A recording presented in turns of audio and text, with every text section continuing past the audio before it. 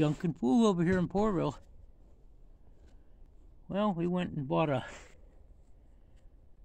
another flathead. I've been wrestling around it with it for a little bit. Somebody drug it out of the swamp, it looks like. But it's got the transmission.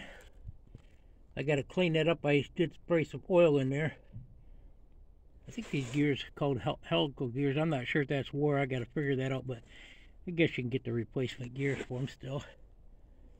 So this is a, I believe around 50, 1950 on up flathead. Being that the water um, radiator connections are in the front, that's a later later uh, model. And I've just learned about this stuff. So they're in the front here. Now my other one over here is between a, what did they say, 34 and a 48, I think. That's this motor here.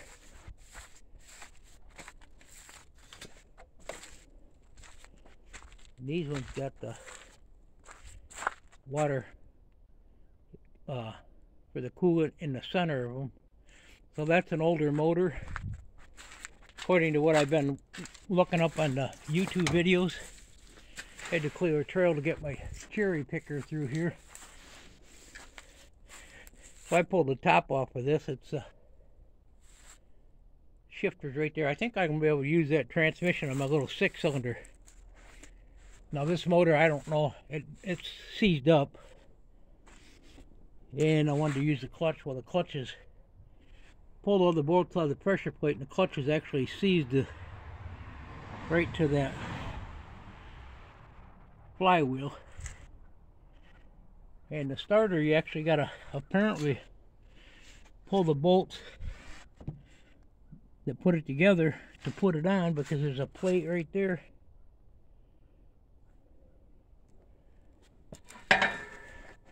the holds all the way around here.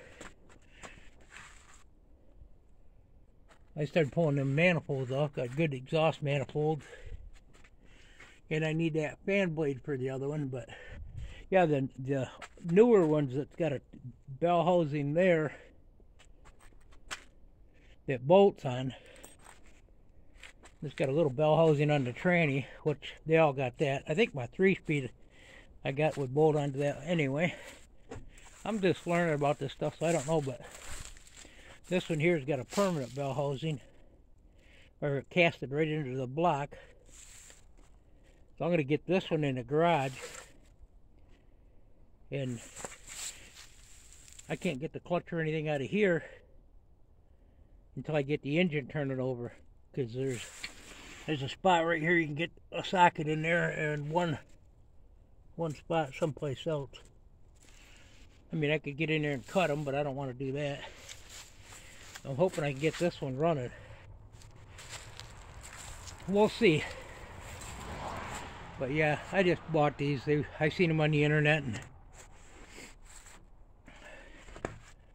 exhaust was. Uh, I kind of wanted this kind of transmission. I don't. What I think I'm going to do. There's some of the exhaust. I probably won't reuse that. But what I think I'm going to do is uh, make me up a little bulldozer. This was seized up. It's, it'll break loose. I just got to soak it. Just got to soak it, clean it all up. But I'm going to build me some kind of contraption. And my plan is to build it without putting any money into it. Just with the stuff I got around here. I've got... Uh, I've got a Nova rear end out there. And I've got a Ranger rear end. And I, th I thought I'd just throw something together with a, a whole bunch of different parts. I'd even thought about using the 4x4 frame, but I got some steel. Maybe we'll just go with the steel. And just something to play around it around here. I will probably use that pressure plate or possibly the one over there or maybe even the one in the six cylinder so I'm gonna put that back on put some lube in there and then I'm gonna get ready to take some of this stuff in the garage This one I probably won't take in. I'll take that one in. The only thing I really think I need off this one is the fan right now. Another thing on this one. This has got a different type of distributor. Which I guess a lot of people like these kind. And I could put this distributor on this other one. Look at that copper.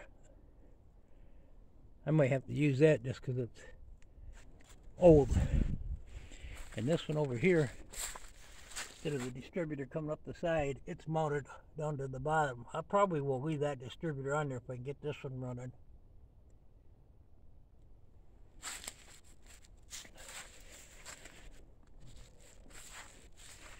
Yeah, just something else to mess around with.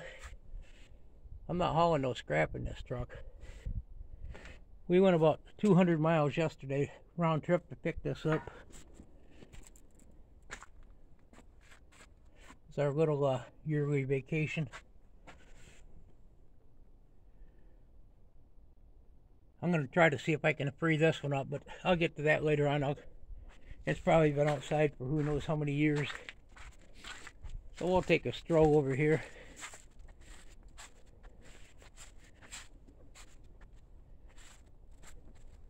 Now this motor over here that I got, I did a video a long time ago messing around with it and I finally got it running and I had it on video and I, I kept saying my memory is full and I kept going through and deleting stuff trying to so I could run longer videos and swamp hole there. I think I deleted the one that I wanted to keep with that engine running. So this I'm going to build something up out of it. Got a little bit of a cold. And this one had that, that transmission had that dry shaft there where, oh I can't remember what they call them, they go right into the rear end, it's a one piece. And I would have, I was trying to figure out how to make up a dry shaft. Well the other one that I just got has got the standard, the standard uh,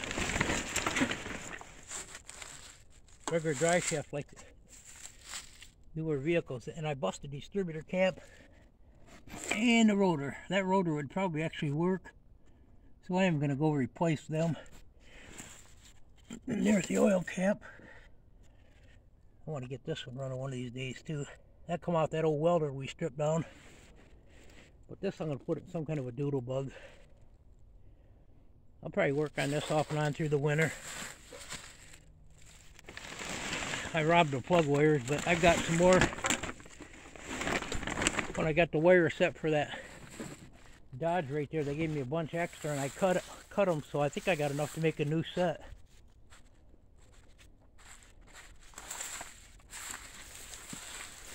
Anyway, that's what I'm doing over here in Porterville.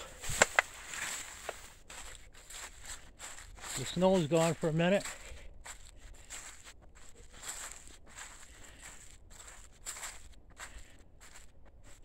Could put it on that right there. Not really. Well, I could. There's a bus heater. Come on, the old bus we had.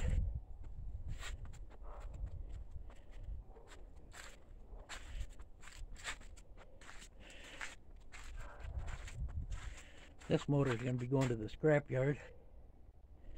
And that crank is. But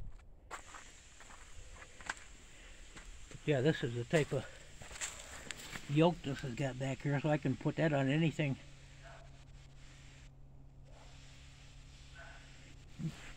So I'm going to clean it up, probably paint it all up and eventually maybe I'll find an old truck to put everything in. Get all the bugs worked out of it and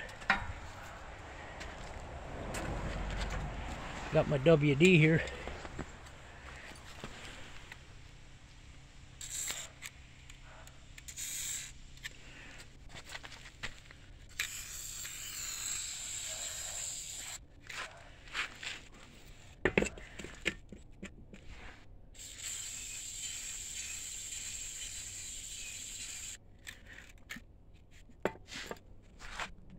Hope everybody's having a good day. Go find a project. Or not. Goodbye now.